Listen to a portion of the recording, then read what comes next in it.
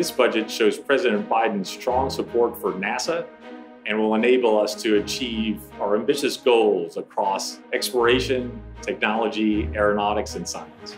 Touchdown confirmed. Perseverance safely on the surface of Mars. I received a call of congratulations from the president. He was so inspired by what we were able to accomplish. Ready to begin seeking the sands of past life. This budget allows NASA to address the climate change challenge in more significant ways than we've had in the past. It allows us to understand the Earth as a system from the oceans to the atmosphere. The upcoming year is also going to be a very ambitious year for NASA and our programs. Aeronautics has been charged with developing a more environmentally friendly aviation system. One of them is the X-57 Maxwell Flight Demonstrator. Another really large milestone is the launch of the James Webb Space Telescope. It's going to enable amazing science research, including literally looking back in time.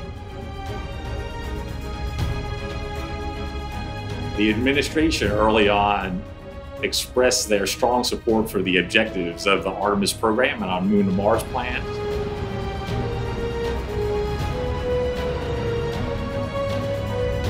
Which are the backbone of our exploration plans and our plans for Artemis.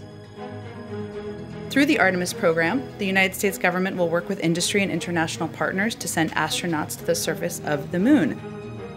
We also have a robust robotic exploration program through the Commercial Lunar Payload Services activities with our commercial partners. The NASA workforce, our commercial partners, and our international partners should be really encouraged by this budget. Zero. Ignition, liftoff.